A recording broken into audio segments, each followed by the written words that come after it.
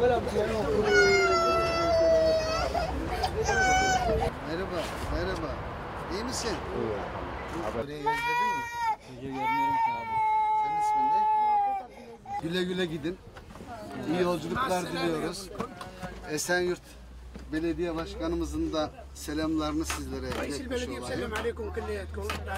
Yaklaşık 3 yıldır e, Esenyurt'taki Suriyeli misafirlerimizin gönüllü e, geri dönüşünü Esenyurt Belediyesi olarak gerçekleştiriyoruz. Pandemi döneminde bir süre ara vermek zorunda kaldık. Tekrar geri gönderme işlemine başladık. E, Şimdiye kadar yaklaşık 3500 kişi Suriyeli misafirlerimizi ülkelerine geri gönderdik. Esenyurt'taki e, Suriyeli misafirlerimizin e, tamamen gönüllü olarak bizlere belediyemizin il e, göç birimine müracaatları kendi istekleriyle e, memleketlerine dönmek istediklerini biz de e, bu misafirlerimizin e, il göç dairesinde izinlerini alarak araç desteğini ve iaşelerini sağlayarak geri gönderme e, işlemlerini yapıyoruz.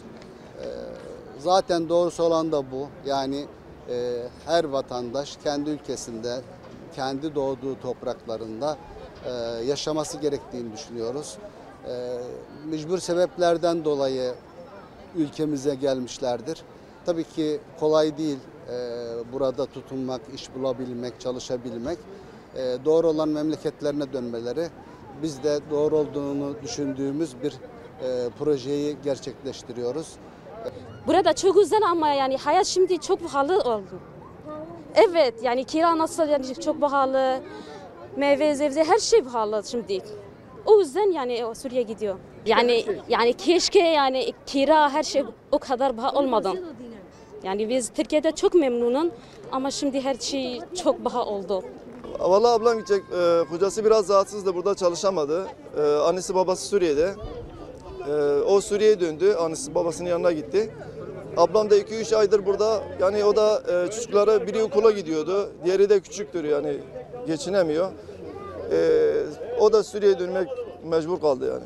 10 yıldır ben buradayım. Bugüne kadar iyi geçiyordu. Yani hem halktan memnunduk hem devletten memnunduk. Yani Allah e, Türkiye'den razı olsun. Yani e, bu konumda bir şey diyemeyiz. Ama bu son dönemlerde biraz çok sıkıntı oldu yani herkes biliyor zaten. Ee, işte iş bulamıyoruz artık yani. Onun için herkes gidiyor yani. İmkanımız yok ki burada kendimizi yaşatmasına. Çalıştık yani yorulduk burada, çalışamadık, yaşayamadık, ülkemize dönüyoruz.